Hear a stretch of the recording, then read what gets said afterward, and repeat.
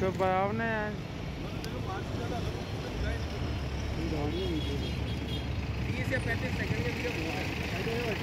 Tanishq jewellers Ajmer पहले से भी बेहतर। सेफ्टी के गोल्ड स्टैंडर्ड्स के साथ तैयार हैं आपके आगमन के लिए। सुंदर आभूषण और बेहतरीन कलेक्शन के लिए आज ही अपॉइंटमेंट बुक करें। Visit Tanishq jewellers India Motor Circle Ajmer.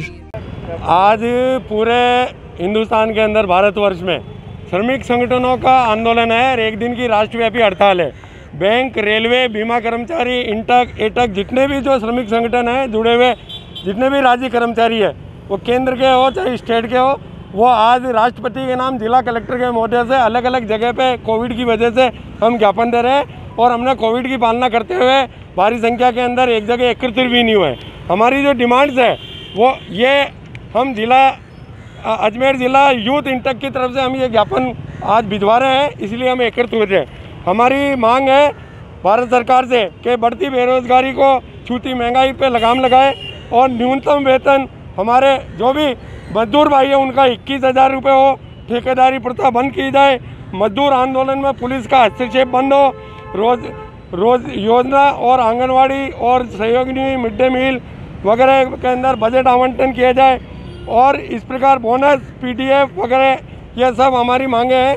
इनको उन्नीस ये करीब हमारी उन्नीस सूत्रीय मांग पत्र है।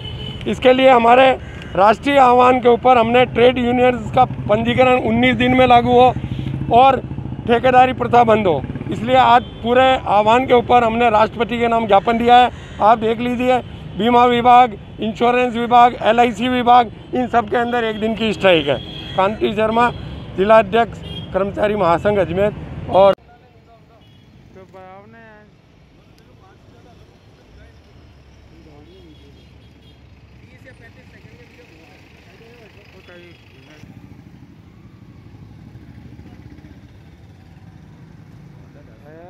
वो वो तो मनाओ बनने में निकल जाएगा।